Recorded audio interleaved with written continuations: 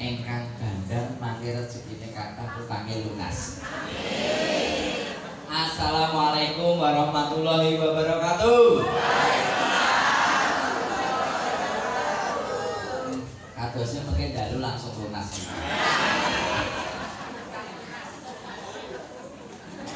Yang kami hormati, kami banggakan sesepuh senior partai dan juga senior di wilayah Pasar Kliwon.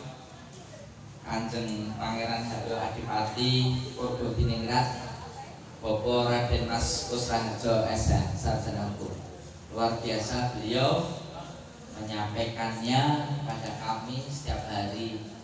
Beliau memberikan semangat untuk kami semua untuk menang pemilu 2024 Amin. Bapak Ibu yang kami hormati, pertama-tama marilah kita panjatkan puja dan puji syukur kita kepada Tuhan Yang Maha Esa, Allah Subhanahu wa taala. Karena sore hari ini kita diberi nikmat sempat, nikmat sehat dan manfaat. Hari ini bersama-sama hadir para tokoh masyarakat di wilayahnya masing-masing. Yang paling saya hafalkan Meng Tunggal. Pak Sungkar Insya Allah saya bangga dengan beliau. Apa yang sudah dilakukan harus diselesaikan. Yakni Masjid Sri Ganti Semoga beliau bergabung dengan kami untuk menyelesaikan masjid. Pun sudah hadir, sudah rawuh. Ini berarti tanda-tanda beliau punya niat akan menyelesaikan masjid tapi kalau minggu orang rampung-rampung. Iya. Insya Allah enggak. Satu saja ya Pak ya. Bapak Ibu yang luar biasa para tokoh di Pasar Kliwon mohon izin kami di sini memperkenalkan diri sebagai calon wakil wali kota Surakarta mendampingi Bapak Teguh Prakoso untuk menjadi wali kota saya sampaikan izin Bapak Pak Teguh kecapean. Cobi manggi kalau sudah sabun tadi 15 titik Bapak. Saya dapat 13 yang di Baluarti senam tidak waktunya tidak cukup dan satu lagi tempat di Purwosari yang diterapkan. Tapi Alhamdulillah Allah paling kesehatan, paling kekuatan untuk kita semua Semoga kita diberkahi Allah Subhanahu wa taala. Amin. Bapak Ibu izin saya memperkenalkan diri, nama saya Bambang Nugroho. Panggilan sapaan akrabnya Bambang Gangki. Saya kelahiran lereng Lawu di hutan. Ye, karena bapak saya dulu polisi hutan. Ye, dua tahun di Gunung Bromo lahirlah saya saya dengan kakak saya itu terpaut 9 tahun. 9 tahun. Jadi saya anak nomor 4 pindah di Solo tahun 80 saya umur 2 tahun dan bapak ibu saya ini bapak saya asalnya dari Kedungombo di Robokan atau Sragen perbatasan ibu saya dari Itali etan kali. Sampai mau jualan istri saya satu. Yang tiga anak saya. Yang pertama sudah mendahului almarhum Muhammad Rehan. Adiknya Muhammad Raska Habibi. Saat itu namanya Muhammad Rehan dan Muhammad Raska. Tapi pas istri hamil besar Pak Habibie datang di Solo makan malam bersama keluarga. Wah ini mau melahirkan. Ya Pak Habibie mohon doanya. Nah supaya kita sama Pak Habibie. Begitu lahir minta ditambahkan Habibie. Kemudian setelah tiga bulan kakaknya mendahului umur empat setengah tahun. Setiap orang yang takziah mengatakan yang tabah yang kuat Insya Allah nanti menunggu bapak ibunya di surga. Amin. Sudah ada gantinya. Anak ini dari ujung kaki sampai kepala Sama plek sama kakaknya yang tidak ada. Jadi semacam Allah gantikan dikasih yang lebih pintar. Kemudian 17 bulan berikutnya lahir adiknya. Udah nggak usah dikasih saya lahir adiknya antar Muhammad Farhansyah berbeda. Dari kaki sampai kepala karakter bicara dan semuanya. Jadi ucapan itu adalah doa. Maka bapak ibu buat putra putrinya yang sedang hamil besar banyaklah berdoa mintalah doa pada orang-orang yang soleh. Punya cita-cita besok seperti kanjeng Gus Raharjo umur panjang sehat masih ganteng masih kuat.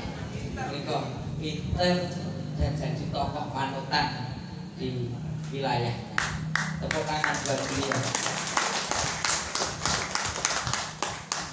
Saya kelahiran tahun 1978 umur saya masih 46 tahun kebalikan dengan Pak Teguh Pak Teguh itu hari ini ulang tahun. Iya. Karena hari ini tadi banyak yang merayakan titik-titik. Siang tadi jam 2 aku lemas orang buat capek. Beliau berumur 65 tahun. Saya asli Margorjo timur stasiun balapan. Iya, timur stasiun balapan SD Cemara 2 masuk atau DPU pekerjaan saya wira swasta periklanan percetakan dan ini perusahaan saya. CP Grafika Gunung Mas atau Babi Desain yang saya dirikan tahun 2004 sampai saat ini alhamdulillah sudah 20 tahun. Lajeng saya juga menjabat jadi ketua majelis ekonomi wonten pondok pesantren modern Islam. Assalam. Dalam ngurusi amal usaha non pondok dados wonten hotel klinik apotek biru haji umroh lembaga zakat infak dan sodako. Dan yang paling besar adalah popotret atau koperasi pondok pesantren. Lajeng dalam dengan teman-teman mendirikan Solo Bersimfoni mereka NGO kalau zaman dulu namanya LSM tapi NGO ini lebih bermitra pada pemerintah membantu pemerintah dalam menan, e, mengurangi radikalisme agar generasi muda tidak terpapar paham terorisme. Apa yang dilakukan? Ini program Hastolaku. Ada tiga G lepat. Napa niku gotong royong, guyub rukun, gerapiak semangat, lembah mana, ewo pekewo, pangerten, andang asor, tepo seliro ini kalau anak muda punya kesalehan watak perilaku seperti ini, insya Allah tidak ada orang akan tega menyakiti saudaranya, menyakiti temannya. Sehingga yang dilakukan di sekolah anti bullying dan persekusi itu yang kami kampanyekan. Sehingga tidak ada anak yang disia-siakan temannya, dipukuli, diejek walaupun secara verbal. Misalnya dudut dek pendek gitu ya. Atau pek repeng sek pesek nggak ada. Karena itu sudah menyakiti secara verbal nah ini yang selalu kita gelorakan kemudian saya juga menjadi sekretaris di yayasan Politeknik Akbara yayasannya YPMIS kalau di Asalam YMPIS Yayasan Majelis Pengajian Islam Surakarta kalau di sini YPMIS Yayasan Peduli Mandiri Insani Surakarta. Ini milik PMI. Produknya Politeknik Agbara Perguruan Tinggi D4. Ketuanya pun Bapak Ahmad Purnomo. Dulu wakilnya Bapak M. Gadi Rudianto. Dalam menikah sekretaris itu. Lajeng pengalaman dalam pernah dados dosen wonten UNS Fakultas Ilmu Sosial dan Ilmu Politik tahun 2002 sampai 2017 Alhamdulillah pensiun dengan selamat. Mereka pensiun dari UNS saya fokus mengembangkan usaha saya kira swasta. Nah Arab boleh pahala dari dosen itu nek arep boleh ilmu eh kalau mau berbagi ilmu jadi dosen dan boleh pahala. Kalau mau boleh rezeki kira swasta. Jadi harus kita bedakan fokus mana yang harus kita besarkan dan hari ini ditugaskan untuk mengabdi dan melayani insya Allah 27 November kita menang pemilu serentak dosen itu dosa kalau absen jadi menakutkan. Jadi harus masuk terus makanya harus fokus usaha.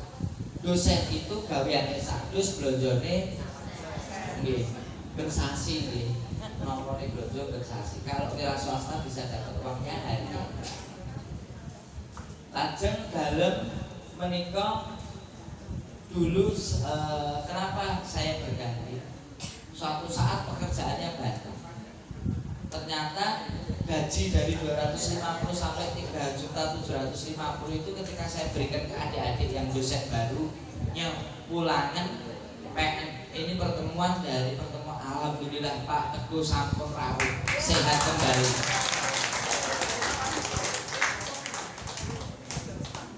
Nah menikah hari ini ulang tahun